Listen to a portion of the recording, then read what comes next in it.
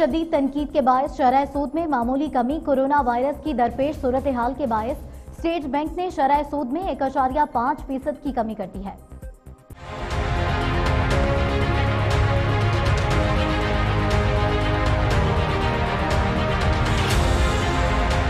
Corona virus کے بعد معیشت پر پڑنے والے اثرات کے بعد اسٹیٹ بینک آف پاکستان نے شرح سود میں ایک سو پچاس بیسس پوائنٹس کمی کر دی۔ شرح سود ڈیڑھ فیصد کمی کے بعد گیارہ فیصد پر پہنچ گئی۔ ترجمان قومی بینک دولت پاکستان کا کہنا تھا کہ معاشی صورتحال کے باعث شرح سود میں کمی کا فیصلہ کیا گیا۔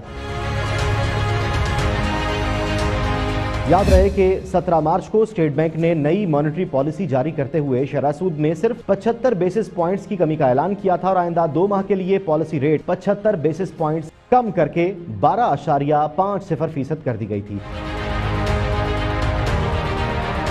اسٹیٹ بینک کا کہنا تھا کہ آخری پالیسی اجلاس کے بعد کرونا وائرس کے پھیلاؤ سے مہنگائی کی توقعات تبدیل ہوئی ہیں جو شرح سود کم کیے جانے کا سبب ہیں۔